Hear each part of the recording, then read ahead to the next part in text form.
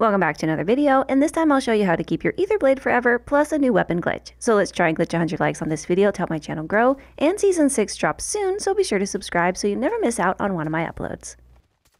In my last video, I showed you how you can get a backpack full of free Scorchers, so be sure to check out that video in the description. This time I'll show you how you can keep the same Aether Blade for every single game. You can get the Aether Blade schematic from the Dark Aether portal on the little island, or you can just ask for help in our Discord, linked in the description. Once you equip the Aether Blade in game, you will lose it once you exfil since you're only allowed to keep it for one match. But there is an exploit you can do to bypass that, and big shout out to SilentNine for finding it. Aether Blades can one-shot kill any zombie, whether they are tier 2 or tier 3, and they can kill multiple enemies at once, which makes this the best lethal that you can use in each game. Containment levels are also very useful in zombies, and you can gain these by completing contracts. Tier 3 contracts are the quickest way to gain containment levels, and the more contracts you complete, the more containment points you get. The max containment level is 100 points, and these will reward you with in-game bonuses. But you do lose 25 containment levels every time you get eliminated, so make sure you play safe. You can instantly exfil from the game by using the Bad Signal story mission, and this will work with any story mission portal. It's located in Tier 2, so be ready for Tier 2 zombies.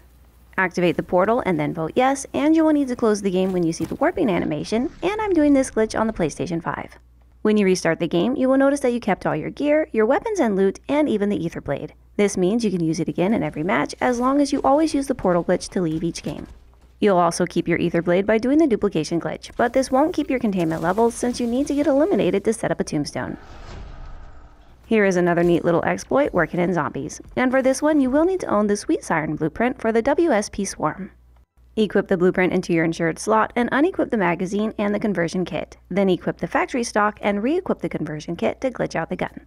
Now we need to equip attachments into the slots that were empty on the original blueprint. So unequip the other blueprint attachments and then equip some ammo, a rear grip, and an optic. You can then save it as a custom mod, but make sure you don't unequip it from your insured slot.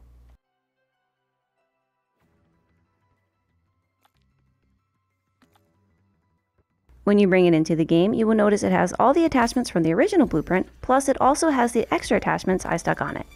It has the 50 round mag equipped even though you saw that I removed that attachment. And something extra strange happens when we exfil with this gun. Ammo can be a problem with this gun since the fire rate is so fast, but it has some nice killing power even though I prefer weapons that are not akimbo. Once you've left the game, make sure you do not unequip the blueprint. Instead, head right back into another match and watch what happens to the gun. You will notice it no longer has the conversion kit equipped, making this the weirdest blueprint ever. Simply unequip the blueprint and then re-equip it again to make it akimbo, or just leave it inside your loadout after a match to remove the conversion kit. It will still have the other attachments like the 50 round mag, and getting headshots with this gun is much easier than the akimbo version. Hopefully this video has helped you guys out, and we got more videos planned for Season 6, so be sure to subscribe. If you made it this far, then say the secret word laser in the comments. Thank you guys so much for the amazing support, and I'll see you in the next one. Ciao!